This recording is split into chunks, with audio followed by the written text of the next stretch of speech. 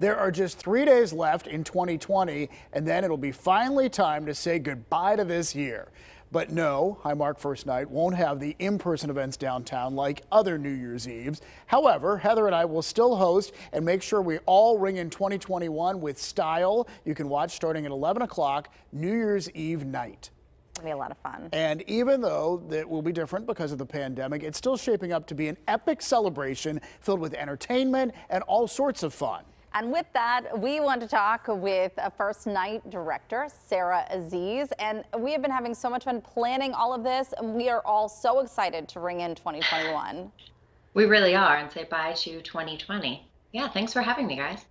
We are so happy that you're joining us here this morning. And one thing that we want to talk about, and this is something that you do every year, and this year is no different, is the uh, Williams Sing Off competition.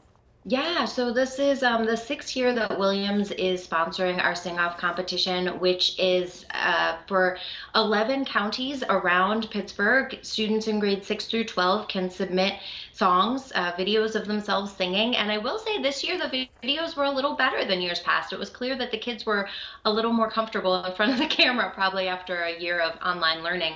Um, so I just wanted to run through our top five. We've got our top five finalists and um, we'll announce the winner on the show on New Year's Eve. You guys will announce the winner. So here's our top five finalists. It's Annabelle Two, who's in eighth grade at Pittsburgh CAPA.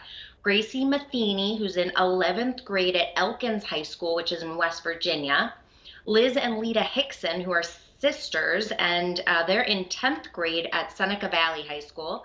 Charlie Coker, who's in seventh grade at Mars Area Middle School, and Stefania Lomankina, who's in eighth grade at Carson Middle School, which is North Allegheny School District. So congratulations to the our top five this year are all young ladies. So congratulations to all of them. And yeah, we'll announce the winner on on the show. And one of the things I love about the sing off is you're really watching possible future big stars because you guys have had people who've gone on to great things, right?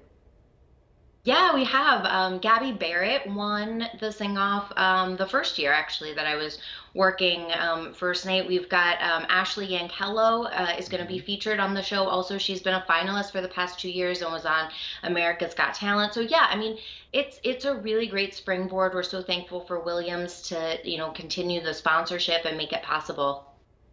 And so let's talk about some of the other fun that's taking place because we have so much lined up. We know Frizzy is going to be joining us.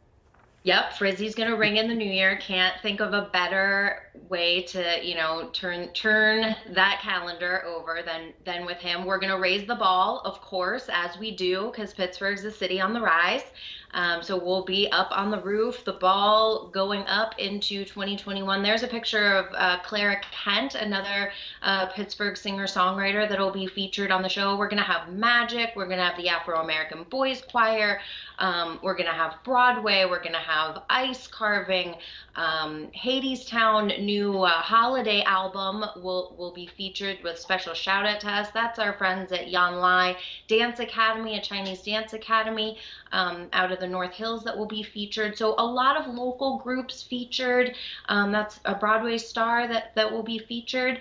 Um, it's going to be a really, really fun night. That last shot was Eva Noblezada, who was our guest judge um, and judged these top five finalists and selected the winner that you guys will announce. Sarah, thank you so much for joining us this morning. And we really are yeah. looking forward to this. It's such a great thing to be doing. Absolutely. Yeah. All right. Thanks, Sarah. And one more reminder, don't forget to ring in the new year with Heather and me. The fun starts Thursday night at 11 o'clock right here on KDKA.